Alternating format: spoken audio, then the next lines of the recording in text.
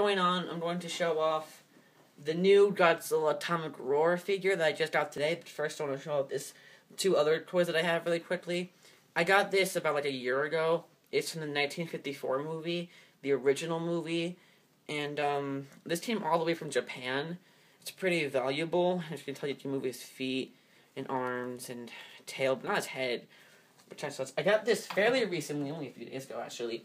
This is this is really awesome. It's pretty expensive, but good because it should be expensive because it's awesome. Um, this is from Godzilla Final Wars, which is one of my favorite Godzilla movies. I mean, yeah, it is a ripoff of the Matrix, but it's still good. Um, and you can tell move his head and tail. This is a really awesome figure. They recommend it.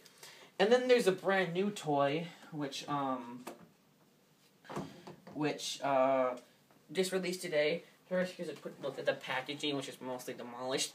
I did start to do an unboxing video, but I had a hard time getting them open. I had to use a knife to get them from what I call the white wires from hell. If you know what I'm talking about, yeah. Um, yeah, this is the new Godzilla Atomic Roar figure from the new movie. I mean, it is made out of plastic. I mean, you can feel the plastic, but it's still pretty detailed it, it feels pretty heavy for a toy. I mean, I, I can hold with one hand, but for a toy, it feels pretty, I guess you'd say, massy. But um, when you do this, um, move his leg. As you can tell, he shoots out with atomic breath. He has his new roar.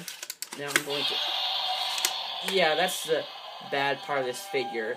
Like, it could, you could be done with them, and then he just keeps going. So use again.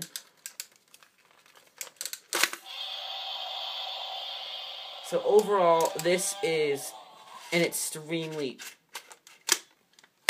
awesome figure.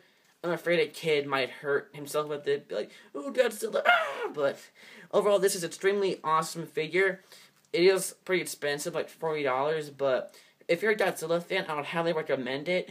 Um, I wouldn't let kid go near because he might hurt himself.